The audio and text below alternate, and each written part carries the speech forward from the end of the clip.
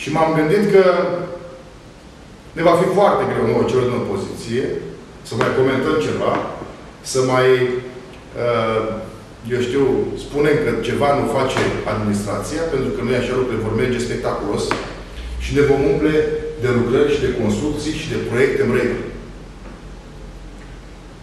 Ce am obținut în schimb? Nimic.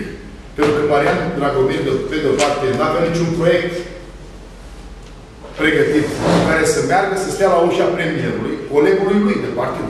Oameni care au crescut împreună. Și să spună, nu plec de aici până nu găsesc într-o formă sau alta finanțare pentru proiectele mele. Dacă nu ai niciun proiect, pentru ce să ceri finanțare? Deci nu e vina lui Tudose. Că până una alta, el e premier și nu poate să-ți dea ție din pic niște bani, decât dacă te duci pregătit.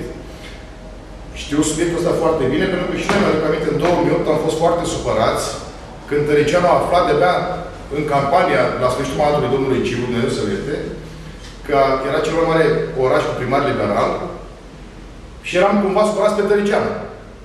După aia ne-am dat seama că de fapt trebuia să fim supărați pe noi, că nu era vina lui. Noi trebuia să stăm la ușa lui în continuu, în continuu, să ne ajute la proiect.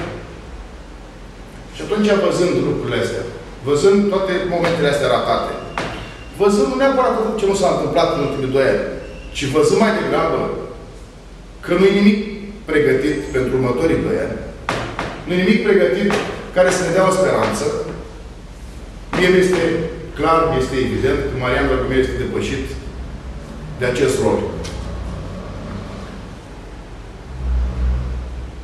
Mă îngrijorează foarte tare în lucru. În campania 2016, uh, studiind un pic și cifre și situația Brăilei, am văzut niște lucruri pe care acum, cred că două săptămâni le-am mai citit într-o, la, cred că la, la Michaela, aceea că noi ne împuținăm în fiecare an cu 2500 de oameni de, de, de locuitori. Sigur, eu nu sunt de bun să încerc primarului de la Gomir să rezolve el personal problema natalității. Dar să știți că tot de administrație ține asta. Și, repet, nu sunt de bun.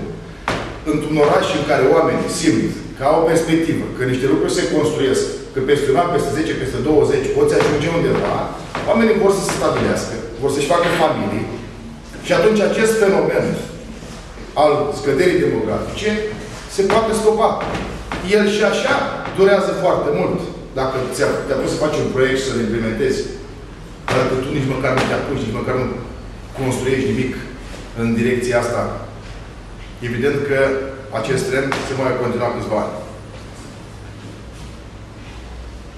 Mai avem o mare problemă. Administrația publică locală în ultimii doi ani nu a adoptat nicio măsură capabilă să atragă spre noi investitori. L-am văzut pe Maria Dragomir lăudându-se cu ceea ce fac absolut pe propriile puteri, cei de la Iazaki și ceilalți uh, chinezi care au venit, uh, îmi cer scuze, nu știu, și-au cumpărat armonie. Oamenii au venit absolut pe forțe proprii, absolut pe o afacere privată, relație privată și atât. Oamenii nu au venit că la au beneficiat de niște facilități. Oamenii nu au venit pentru că nu le-am pus la dispoziție nu știu ce lucruri. Da, terenuri, hale, pentru că nici măcar nu le avem. Și văd că stăm și ne certăm cu cei de la Galați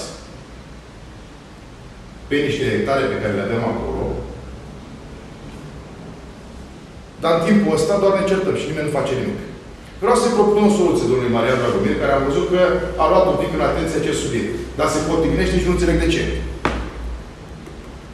Vreau să-i aduc aminte, dar sunt convins că știe, că avem la Consiliul Județean la 1600 de hectare acolo. Hai să facem un lucru dacă cei de la Galați, că tot dăm vina pe ei și ei pe noi sunt convins.